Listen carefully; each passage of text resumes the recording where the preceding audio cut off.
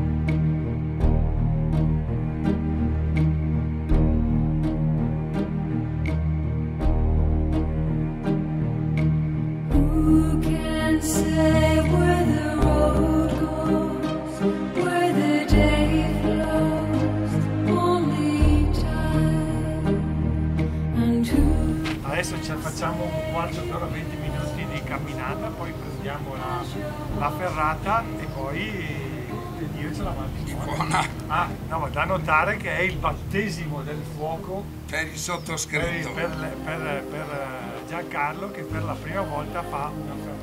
impegnativo.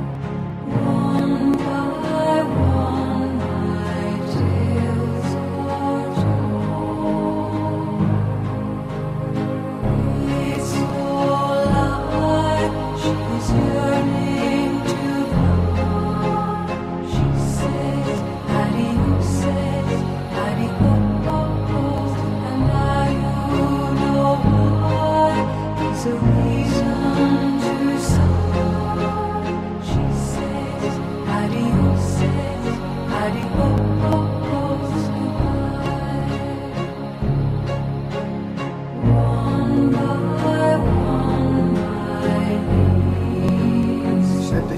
713 che è questo pezzettino qui è 713 è comune, comune. È comune. poi avete un pezzo di eh, sentiero attrezzato. Finito sentiero attrezzato 713 prosegue giù segue la nostra teleferica. E voi ce l'avete proprio davanti lo vedete perché costeggia proprio tutte le montagne. 721 due ore e mezza ci vogliono qui